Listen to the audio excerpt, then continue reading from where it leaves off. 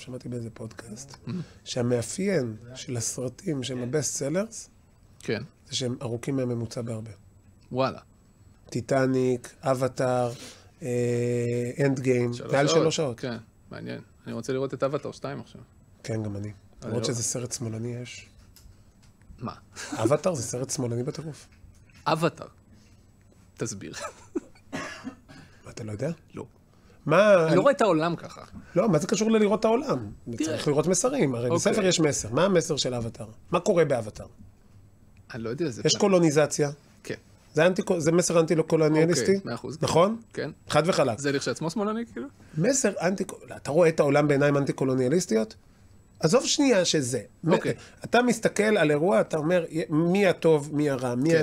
הפרא האציל, כן. שזה תפיסת רוסו, תפוסה שמאלנית. יש את הפרא האציל, אוקיי. אל מול התעשייה ה- ה- ה- ה- שמחריבה את העולם, כן. את כל הזה, הדת הירוקה, הכל שם, הכל שם, וזה לא בסאבטקסט, יש, יש סרטים שזה בסאבטקסט, באבטר זה. עכשיו, אני נהנה מזה למרות שזה סרט שמאלני. למרות. כן. חרף העובדה. ש- אגב, למשל, שר הטבעות זה סרט ימני. סליחה? שר הטבעות זה סרט ימני, זו עלילה ימנית, באיזה אופן? מאוד שמרנית. יש טוב ברור, יש רע ברור. הטוב והרע הם, כמעט אפשר לומר, בעצמות של הדמויות. יש מ- מסע גיבור אה, קלאסי מאוד, לא... אין אי בהירות, אין ספקות, אין אה, אולי הם גם יש להם צד טוב, אין איזה, גם בסאורון יש איזה נקודה, ש... יש, זו תפיסה שמרנית מאוד. תזכיר לי מאוד. לא לא ללכת איתך אני, לסרטים. אתה יכול ללכת איתי.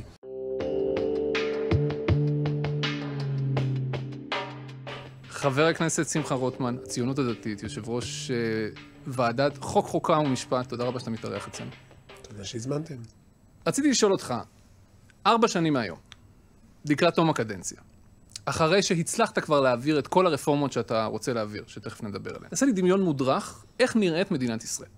אני יכול פשוט להגיד, לפחות בתחום המשפטי-חוקתי, שזה מה שמעניין אותי כמובן בוועדה, די דומה לאיך שהיא הייתה נראית כשאתה ואני נולדנו, אתה יודע מה? לא, אפילו לא נולדנו. היינו טינג'רים, שנות ה-80 וה-90. בבית משפט שהוא אה, נהנה מאמון הציבור, שהשופטים שלו מקדמים אה, זכויות אזרח וזכויות אה, פרט ולא אג'נדה פוליטית, שהמערכת הפוליטית שבו אה, משמשת כלי ל... זה, אני, זה נשמע קצת אוטופי, אבל משמשת כלי לצמצום סכסוכים ולא להגברת סכסוכים. אני חושב שזה מקום שכולנו נרצה לחיות בו. כולנו, הכוונה כולל כולנו. לא, אני לא חושב שהיא תהיה מדינה אה, שחלקים מסוימים באוכלוסייה יגידו, פה אני לא רוצה לחיות. אני חושב שכולנו נרצה לחיות במדינה שכזאת. ואת זה אתה משיג על ידי החלשת בית המשפט העליון הגבוה לצדק?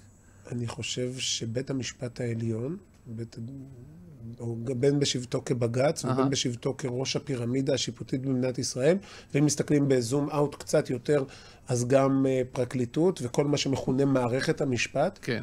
אני חושב שהיום הם נורא נורא חלשים. הם נורא נורא חלשים כי הציבור לא מאמין בהם. יש שני שרים שיש להם הרשעות פליליות בעברם, יש אה, ראש ממשלה שבחקירות, פעם היינו חושבים שדבר כזה לא יכול להיות. עכשיו, יש כאלו שאומרים, תראו לאן הציבור הישראלי הלך. אני לא אומר לאן הציבור הישראלי הלך. אני חושב שהציבור הישראלי במקום מצוין. אני שואל את עצמי, לאן מערכת המשפט הלכה? לאן מערכת המשפט הלכה שההרשעה שלה לא שווה כלום בעיני ציבורים גדולים במדינת ישראל, כשהם חושבים שהם עושים שיקולים פוליטיים בהרשעה? עזוב עכשיו אם הם צודקים או לא. אני יכול להתווכח איתך על זה, יכול להיות שנסכים או לא נסכים.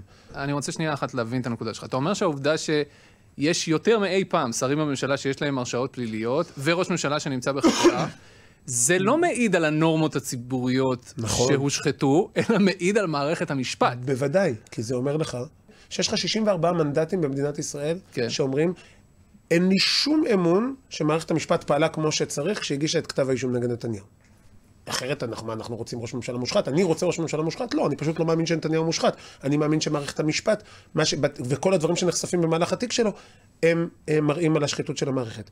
יש הרבה מאוד אנשים ש... שהצביעו למפלגת ש"ס, וגם מפלגות אחרות שידעו טוב מאוד שש"ס כן. תהיה חלק מהקואליציה, שאומרים, אנחנו מאמינים שלדרעי נעשה עוול.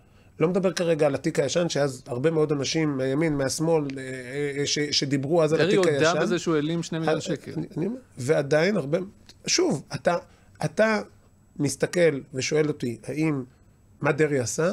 ואני אומר לך, תסתכל על הציבור במדינת ישראל, כן. ציבור גדול וענק, שאומר, so what?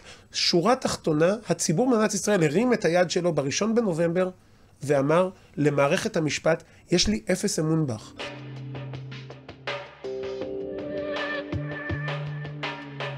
ספר לי בבקשה, איזה רפורמות אתה הולך לעשות כיושב ראש ועדת חוקה, ואיך הרפורמות האלה מחזקות את מערכת המשפט לשיטתך. אז דבר ראשון, אה, אנחנו מדברים על אה, מה שמכונה פסקת התגברות, או בכלל אפשר לקרוא לזה שם כולל יותר, הסדרת עניין הביקורת השיפוטית על חוקי הכנסת. אתה יכול להסביר לי את זה ב-30 שניות, כך שגם הילדים שלי, שהגדול שלהם, אה, שבהם הוא בן 13, יבין מה זה אומר? פעם אוקיי. בית המשפט העליון אמר, אני מבטל חוקים כי הם סותרים חוקי יסוד. כן, זה התזה. כן. אוקיי, אז חוק יסוד כבוד האדם וחירותו עבר בכנסת ברוב של 31 חברי כנסת. נניח שיש מחלוקת ביני לבין בית המשפט העליון בשאלה מה הוא אומר. האם חוק יסוד כבוד האדם וחירותו אומר שאני לא יכול למשל להרחיק מסתננים מדרום תל אביב? יש מחלוקת. כן. אז אם בית המשפט אומר, אתה לא יכול, ואני חושב שכן, אני המחוקק. עכשיו, אני יכול לשנות את חוק יסוד כבוד האדם וחירותו ולכתוב, אפשר להרחיק מסתננים ולתקן, אפשר לעשות את זה. ואני יכול לבוא ולהגיד, לא רוצה עכשיו להתעסק בחוק יסוד כבוד האדם וחירותו, נשאיר אותו במקומו, אבל אני, הפה שאסר הוא הפה שהתיר, אני העברתי את חוק יסוד כבוד האדם וחירותו ב-31 ח"כים, תן לי להעביר חוק בכנסת ולכתוב בו, למרות מה שכתוב בחוק יסוד כבוד האדם וחירותו, אני אומר שאפשר להרחיק מסתננים מדרום תל אביב. למרות מה שכתוב בחוק יסוד כבוד האדם וחירותו, אני אומר שמותר לתת אה, אה, פטור מגיוס לחרדים. כל, כל הדוגמאות האלו הן דוגמאות שקרו, אמיתיות, כן. הם מהחיים מה שנקרא, אה, אה, דוקומנטרי. ואז, ואז בית המשפט אומר, הפה שאסר הוא הפה שהתיר. אמר לי המחוקק בכובעו, לובש חוק היסוד, אל תעשה איקס, כך אני מבין. אומר לי המחוקק, למרות מה שכתוב בחוק היסוד, אני רוצה בכל זאת לעשות את זה, יש לי סיבה חשובה לעשות את זה, תן לי, ואני מכבד את זה, כך זה אמור לעבוד. איך זה מחזק את מערכת המשפט? אני אומר שבשנייה שבית המשפט העליון בכלל מבטל חוקים, זה מייצר סיטואציה שאני כציבור לא יכול להשפיע על החוקים של מדינת ישראל באמצעות הקלפי. אומרים לי, זה מחוץ למשחק. גם אם את תביא עכשיו לכנסת 80 ח"כים, 60 ח"כים, 120 ח"כים, תשכנע את כולם, יבוא לך בית המשפט ויגיד, אסור לך לעשות את זה. אוקיי. למה? כי אני אמרתי. אז אני מאבד אמון, אני אומר, בית המשפט הוא לא אה, אה, מגן על הזכויות שלי. בית המשפט הוא שחקן פוליטי שלוקח את העמדה שבכנסת תמכו בה 20 ח"כים, וכופה אותה על כל השאר. ואז אני אומר, אז הוא מפלגה פוליטית, כשם הספר שלי, מפלגת בג"ץ. הוא מפלגה פוליטית שאף פעם לא הצבעתי לה, ואין לי אמון בה. אני רוצה שנייה לגזור משמעות אחרת מהעמדה שאתה מציג, והמשמעות היא כזאת. אתה אומר בעצם, אם עוברת חקיקה בכנסת, לא משנה באיזה רוב, רוב של 30 ח"כים או רוב אה, מדהים של 80 ח"כים, זה רצון העם ואין בלתו. ואין מפלגת בג"ץ שיכולה לקחת לידיה את קביעת המדיניות ולהגיד אחרת. מזה אפשר לגזור שאם יש רצון פוליטי בכנסת לחוקק לא משנה מה, חקיקה שפוגעת בזכויות שלי כמיעוט whatever, או אה, לא יודע מה, כתושב ירושלים whatever, מאחר שזה רצון העם, זה מה שצריך להיות, וזהו זה. אתה מבין שזו משמעות שעלולה להוביל אותנו למקום רע מאוד. ואם בג"ץ יעשה זה? מה זאת אומרת? אבל, אבל אני, אוקיי, לא, אני שנייה, הסתכלתי, אתה- אתה- כמה חוקים בג"ץ מה פסל עד היום? מה שאתה בעצם... כמה חוקים בג"ץ פסל עד היום? רק אבהיר את השאלה. מה אתה בעצם אומר? אתה אומר שאם אני נותן כוח למישהו, יש סיכוי שהוא ישתמש בכוח הזה לרעה. חד משמעית. חד משמעית. למה אתה לא חושש שבג"ץ יעשה בו שימוש לרעה? כי הוא לא פסל הוא כן. מאות חוקים. אני לא, זה לא קשור למאות. אבל, הרי גם, הרי אבל לש- במבחן התוצאה הוא לא. אז לשיטתך, א', אפשר להתווכח כמה הוא פסל ונדבר על זה עוד שנייה. באמת, גם על זה אפשר לדבר? ודאי, אוקיי. בוודאי, על כל דבר אפשר להתווכח. זה היופי בדמוקרטיה. האמירה הפשוטה, בג"ץ פסל מעט חוקים, זה רק סימן לשיטתך אמור להיות, אני הרי לא מסתכל על בג"ץ כמקור המוסר והאור, אבל לשיטתך, שבג"ץ הוא כן מקור המוסר והאור כנראה, כי הוא מגן עלינו מפני המחוקק הרשע והמפחיד. אז אין הרבה מקרים שהמחוקק הרשע והמפחיד עשה משהו לא בסדר, אז למה אני צריך לתת את זה לבג"ץ? זה כמו, במידה מסוימת, כאשר אתה מעביר את הכוח מהמחוקק לבית המשפט כדי שיגן עלינו מפני סיטואציה שמחוקק יחוקק חוק לא, חוק לא טוב, אתה משול למי שמתאבד כדי שהוא לא ירצח. אבל חבר הכנסת רוטמן, לא ענית לי לשאלה. אתה מסכים איתי שזה עלול להוביל למצב שבו אין שום אה, רסנים ובלמים למחוקק, ודאי והוא שלא. יכול לעשות מה שבא לו? לא, ודאי שלא. איך לא? יש מי מלא, יהיה ה... יש מלא רסנים ובלמים. למחוקק. היה לך עכשיו קואליציה, עד לאחרונה, של אה, רוב, של 61 חברי כנסת. מהמם. הם יכלו לעשות מה שהם רצו? לא. למה? בג"ץ מנע מהם? לא. לא, בין היתר כי הם היו מסוכסכים מבפנים. הנה מצאת מנגנון אחד שקיים במדינת ישראל, שלא קיים בכמעט אף מדינה מערבית שאנחנו רגילים להתייחס אליה, אוקיי. של הצורך להקים קואליציה. הצורך להקים קואליציה הוא חסם מאוד מרכזי על כוחו של הרוב. אז יש לך ייצוג במדינת ישראל, לכל קבוצה, מיעוט די קטנה, יכולה לקבל ייצוג בפרלמנט, וצריך להתחשב בה להקמת קואליציה, שזה ממש לא פשוט, כן. וגם לא, אחרי שהקמת קואליציה, אתה צריך אותה להצבעות, אתה צריך אותה שהיא לא תעשה פיליבסטר, אתה צריך אותה לרצות אותה, ולכן לא סתם ממשלות ימין בעבר הביאו תקציבים גדולים לציבור הערבי. מה עוד? הצורך לעמוד לבחירות פעם בארבע שנים, או פעם בארבעה חודשים, יותר נפוץ בחמש השנים האחרונות, שלוש השנים האחרונות. כן, אתה חושב שזה... הצורך לעמוד לבחירה בוודאי, הוא גורם מרסן מאוד גדול. אני הרי לא יכול לעשות, נניח, את כל חלומותיי, כי אני יודע שבסופו של דבר יש עוד מעט בחירות, יש עוד מעט אנשים שאולי לא מסכימים איתי לחלק מהדברים. אני אצטרך גם אחרי הבחירות הבאות להקים קואליציה, אז יכול להיות שאני אקבל, ארצה מאוד את ה base שלי, כיושב ראש ועדת חוקה, כל... אבל יהיו- הם בוחרים בך, מי עוד בוחר בך? אה, יפה, אבל אני, אז בבחירות הבאות אני אהיה באופוזיציה. כי מי שאיתי בקואליציה, מפלגות אחרות, פחות יאהבו. הח- המפלגות החרדיות, אני לא חרדי, אם אני אפגע בציבור החרדי, ולא, וארצה את הציבור שלי כביכול, אז הקואליציה שלך... אז לא יהיה לי קואליציה אוקיי. בפעם הבאה. המנגנון הזה הוא איזון מאוד מאוד חזק על כוחו של הרוב. בוא נדבר על עוד אה, צעדים שאתם מתכננים לעשות. אחד הצעדים שהכי מעניינים אותי זה אה, להפוך את היועצים המשפטיים במשרדי הממשלה למשרות אמון. כלומר, כאלה שבסוף השר או השרה ממנים. כן. חייב שתסביר לי למה צריך לעשות את זה. ואיך זה מחזק את מערכת המשפט. אני מאמין שכל אדם זכאי לייעוץ ולייצוג משפטי. מאה אחוז. אה, גם נציגי הציבור שלי, אני רוצה שיהיה להם ייעוץ וייצוג משפטי. יש להם. עכשיו השאלה האם יש להם. היועץ המשפטי, מה הוא? האם הוא העורך דין שלי? או האם מטרתו לראות בכל דרך חוקית שבה אני יכול לקדם את המדיניות שלי, להתגייס, להישכב על הגדר בשבילי, כמו עורך דין מהשוק הפרטי, שאני לוקח כדי לייצג ולהשיג את האינטרס שאותו אני מייצג, או ש... מה שמעניין אותי, או שמא הוא מייצג את הציבור. הוא יודע מה רצון הציבור, הוא יודע מה האינטרס הציבורי, הוא מגדיר. עכשיו, כאשר התפתחה עמדה שבאה ואומרת, יש יועץ, והוא לעומתי לשר. הוא צריך לשמור על המדינה מפני השר. הוא שומר סף. עכשיו, הוא שומר סף מפני מי? מפני הציבור, מפני נציג הציבור, מפני מי שקובע מדיניות. למה הוא שומר את הסף? למה אני צריך יועץ משפטי שישמור סף מפניי? אולי אני צריך לשמור מפניו? אתה יכול לתת לי דוגמאות מהפרקטיקה של היום-יום. זה פרקטיקה- בשנים האחרונות אה. של יועצים משפטיים, לא בהיי-לבל, במשרדי ממשלה, שמפריעים לשרים לה- לעבוד. אני אומר שוב, היה כך עכשיו, לאחרונה הייתה אה, אה, חברי, אה, השר אוחנה, כן, אה, היה שר אה, בט"פ. כן. והוא, יש לו תפיסה מדיניות, מדיניות, מדיניות מאוד ברורה בנוגע לנשיאת נשק. הוגשה עתירה בעניין הזה, על שינוי הקריטריונים, הוא חשב שהוא יכול לעשות משהו מסוים. העמדה המשפטית שלו הייתה סבירה לחלוטין, לשנות את הקריטריונים, שהוא יכול לעשות את זה בתקנות של שר, ובא היועץ המשפטי ואמר לו לא, ולא, הוא לא קיבל ייצוג בבית משפט, הוא שלח את עמדתו, הוא עורך דין בעצמו, הוא יודע את הקייס המשפטי, בית המשפט מחק את העמדה שלו מהתיק, זאת אומרת, הוגשה עתירה נגד מדיניותו של שר הבט"פ, לבית המשפט העליון, כן. שר הבט"פ מנסה להציג את עמדתו בפני בית המשפט, והיועץ המשפטי אומר לו, לא, אתה תייצג את עמדתי ולא את עמדתך. אז אני רוצה זה להבין... הזיה. אני רוצה להבין משהו, כי זה נושא מאוד מאוד עדין. האם בתפיסה שלך, היועץ או היועץ המשפטית של משרד, צריכים להתאים את עצמם ב-100% לתפיסת העולם של השר או השרה שבמשרד שלהם? כלומר, לא יכולים לסטות לא ימינה או שמאלה, לא כלום. כי אם כן, השאלה היא בשביל מה צריך אותם. אה, בשמה, אני, אני עורך, בעוונותיי, לפני היותי חבר כנסת, הייתי עורך דין. כן. באו אליי לקוחות, אני זיהיתי יחד איתם מה מעניין אותם, מה הם רוצים להשיג בתיק, כן. או בחוזה שהם ביקשו שאני אנסח, לא משנה מה היה הנושא. זיהינו ביחד את האינטרס, כדי שנוכל, ל- ל- ואז רצתי, והיה לי אפס עמדה משלי.